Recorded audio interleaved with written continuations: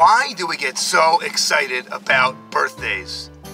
It's just another day, one day older. Oh yeah, moving forward, the big 3-0, the big 4-0, the big 5-0. Why are we so excited about birthdays? What are we celebrating? Birthdays are the day that it was decided that this world can no longer exist without you. The world needs you. And only you are the one that can do what you're supposed to do. Only you can accomplish your mission. Only you can fulfill your role. And that's what birthdays are a celebration of. We're celebrating the fact that the world now has you. And before it didn't. The truth is we can we can really celebrate this way every day. Every day that we wake up and we're alive and ready to rock and roll, it's because it's been decided that the world can't exist without us.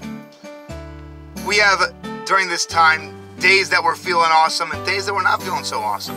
Days that we're ready to rock and roll, so we know what our purpose, our mission, and we're ready to rock and ready to give to the world.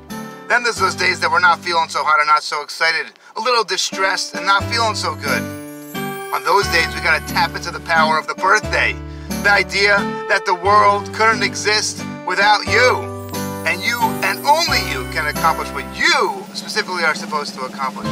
Let's keep that in mind. Let's allow this to give us the strength, the energy to thrive, not just survive, to be our best selves. And remember, it's because of you that we celebrate today.